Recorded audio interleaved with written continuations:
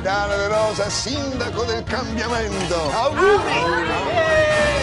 Questa è un'azienda seria. Noi non costruiamo mica delle capannine di fango in Africa. Niente di personale. Chi se ne frega? Io sono di Saronno. Che cos'è questa pubblicazione? E questa è sua figlia che si sposa. Tuo figlio si sposa. E chi è lei? È un influencer. Ah, un medico. Pensi come piccolo il mondo. Cioè, per me, per lei è la sua taglia. Scommetto che lei sceglie la destra, vero? Io scelgo il nord. Sei del nord e pure ricco! Io posso trovare il sistema per...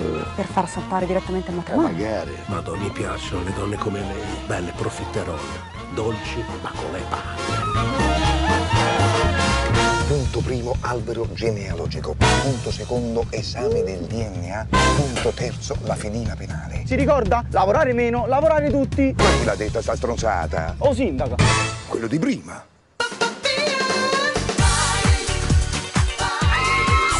Ma sei dai film di Totò che non c'è più la nebbia a Milano. vabbè. Quando voi avete surriscaldato il pianeta col vostro ragù. Miseria!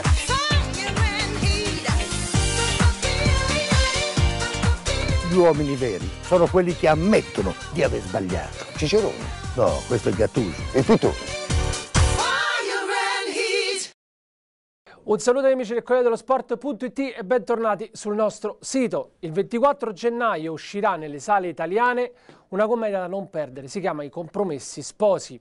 A presentarla qui oggi sono venuti Valeria Bilello, ovviamente cominciamo da cavalleria, insomma, dal, da personaggio femminile, poi Francesco Miccichi che è il regista e Diego Abbadantuono. Benvenuti, benvenuti al Corriere dello Sport. Allora, prima di addentrarci in tematiche sportive che ovviamente non mancheranno in questo, questo contesto, parliamo del film. Allora, eh, la, la trama, insomma, eh, brevemente, eh, vabbè, poi casomai me, me- me la racconti tu così mi dici pure fino a che punto Vediamo possiamo arrivare. Eh? Vediamo cosa hai capito. No, vediamo cosa hai capito. Dai, questa- no, se mi fai questa domanda già mi metti un po' su- sul chi va là. Allora, praticamente ci sono questa coppia di giovani ragazzi che decidono di sposarsi e mm, i genitori non la prendono Non sono benissimo. così convinti, Non non- sono così no, convinti, diciamo. Ci sta Vincenzo Salemme, che è un altro grande protagonista Ti- del tipo Giulietta Romeo, tipo Una sposi. sorta, esatto. Tipo i promessi sposi. Esatto. C'è Vincenzo Salemme, che è un altro dei protagonisti del film, che è Che- il sindaco di questa. E questo posto è per lui che dovrebbe arrivare. Esatto, lo stiamo aspettando, non so se arriverà per tempo.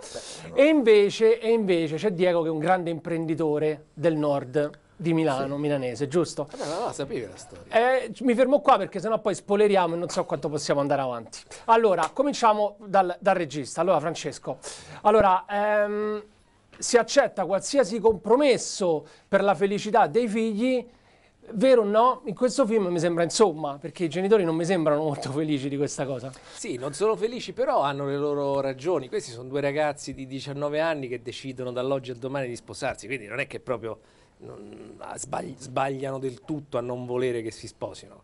Poi in particolare il personaggio di Diego eh, dice, ma mm, pensiamoci un attimo, riflettiamo, non è detto che sia la scelta giusta a quest'età, quindi non è sbagliato. Poi però sono i- gli stessi genitori, eh, e non solo i genitori, che capiscono che eh, qualche compromesso nella vita si può fare e che quindi per la felicità dei figli e perché è un amore vero, forse chissà, è il caso. Forse chissà. Però c'è da dire una motivazione, mm, cioè mm, sulla carta è perfettamente logico non essere d'accordo perché mi sembra incauto sposarsi dopo poco tempo che ci si conosce, proprio nella vita, sto parlando ne- nella vita quotidiana. Quindi io sarei uno che dice a mio figlio o a mia figlia, dico stiamo attenti, aspetta un attimo, piuttosto stai assieme a questa persona un po' di tempo, poi se è consolidata. Però nel film invece c'è anche un rapporto fra me e Salemme che non è idilliaco, cioè non mi è proprio simpatico Salemme e io non sono simpatico a lui. Quindi una motivazione base è anche quella. E c'è poi una considerazione anche di, di- di men- mentalità, di ideologia e poi soprattutto il fatto che uno è del sud e uno del nord. Quindi Rido- questo crea rido- sempre un certo conflitto. Eh, rido perché spieghiamo, non avevo chiesto eh, perché sei nelle retrovie, perché sei finito nelle retrovie in questa intervista. Perché volevo lasciare il posto a Salemme qua Ah. davanti, poi perché Aspettiamo il divano non... Quindi se non viene è colpa di Vincenzo. Beh, se non sostanza. viene rimarrà il posto, Beh, però è più bello così, cioè, anche vedo dall'alto, c'è un altro punto di vista, anche i vostri manifesti.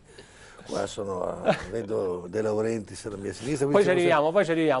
in. Invece il tuo ruolo, cara Sì. cara Valeria, è quella della... eh, se tu sei la figlia, giusto? di- Sono di la sorella maggiore del compromesso de- sposo del e la- compromesso sposo.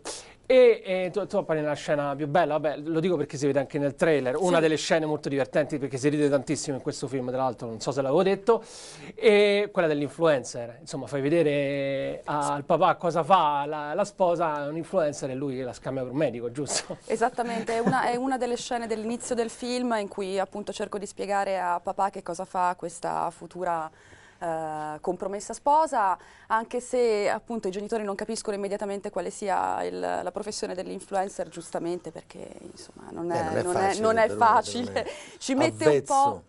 Però poi La anche spiega anche un po' è malino, la spiega pure per male niente. Però è uno che guadagna dei soldi eh, fa- facendo vestire la gente per telefono. Ancora non ha capito. Beh, più o meno. eh, Ancora un po' gli sfugge, diciamo, gli sfugge ancora un Beh, pochettino. per uno che, che in genere pe- pensava che si andasse a lavorare per, fare un- per guadagnare dei soldi, stare eh, suggerire al telefono è una cosa abbastanza anomala. Eh sì, Anche se molto redditizia, quindi questo mi fa piacere perché Beh, insomma, siamo nel momento di massima- entrare in di- famiglia uno nel film dico far entrare in famiglia uno che guadagna parecchio è sempre interessante sorta per un Ferragni, insomma, imprenditore per un imprenditore per la mentalità dell'imprenditore